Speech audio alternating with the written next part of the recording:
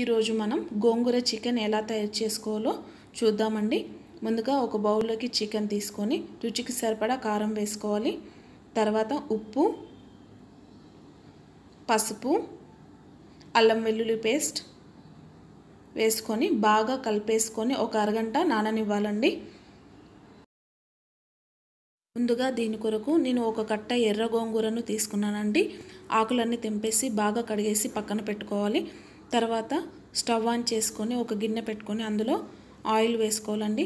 తర్వాత జీలకర్ర వేసుకొని బాగా వేడైన తర్వాత పొడుగ్గా తరిగిన పచ్చిమిర్చి వేసుకోవాలండి. ఈ పచ్చిమిర్చి కూడా బాగా వేగాలండి. ఈ విధంగా పచ్చిమిర్చి బాగా వేగిన తర్వాత సన్నగా తరిగిన ఉల్లిపాయలు వేసుకోవాలండి. ఇక్కడ నేను ఉల్లిపాయలు అనేది చాలా తక్కువగా తీసుకున్నాను. ఒక పెద్ద ఉల్లిపాయ మాత్రమే తీసుకున్నాను. ఎందుకంటే మనకు గోంగూరతోటి మంచి గ్రేవీ వస్తుందండి. ఈ ఉల్లిపాయలను బాగా కలర్ వచ్చేదాకా వేపుకోవాలి. ఈ విధంగా బాగా కలర్ వచ్చిన తర్వాత అల్లం వెల్లుల్లి పేస్ట్ వేసుకొని పచ్చివాసన పోయేదాకా వేగించుకోవాలండి.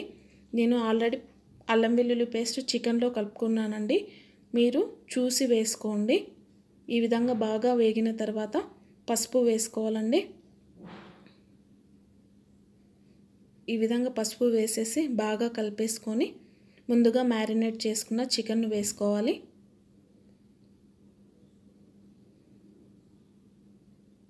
ఇలా చికెన్ వేసేసి బాగా కలిపేసుకొని మూత పెట్టేసుకొని మీడియం ఫ్లేమ్తో ఫ్రై చేసుకోవాలండి.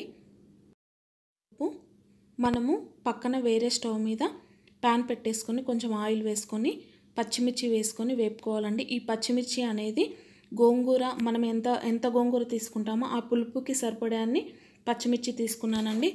అలాగే వెల్లుల్లి వేసి బాగా వేయించుకోవాలండి. ఇలా వేయించుకున్న వాటిని ఒక మిక్సీ జార్లోకి తీసుకోవాలి. తర్వాత బాగా వాష్ చేసిన గోంగూర వేసుకోవాలండి. గోంగూర అనేది మీ ఇష్టం అండి మీ చాయిస్ అది. పుల్ ఎంత పులుపు కావాలంటే అంత అన్ని కట్టలు వేసుకోవచ్చండి. ఈ విధంగా బాగా మగ్గించుకోవాలండి. ఈ విధంగా గోంగూర బాగా చల్లారిన తర్వాత మనం ముందుగా మిక్సీ జార్లో పచ్చిమిర్చి వెల్లుల్లి వేసుకున్నాం కదండి. ఫస్ట్ అది మిక్సీ చేసుకోవాలండి. ఈ విధంగా మిక్సీ అయిన తర్వాత గోంగూర వేసుకొని కొంచెం బరకగా మిక్సీ చేసుకోవాలండి. ఈ విధంగా మిక్సీ చేసుకోవాలండి.